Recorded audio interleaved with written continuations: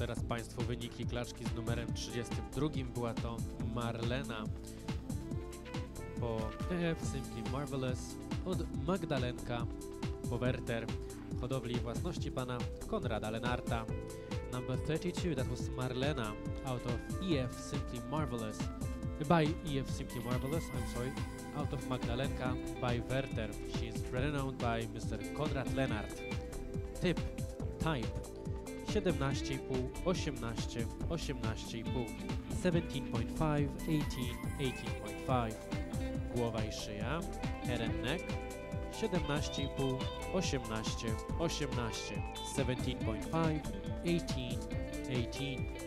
Kłoda, body and top line 3 razy 17,5, triple 17.5. Nogi, legs 15, 16, 15,5, 15, 16, 15.5.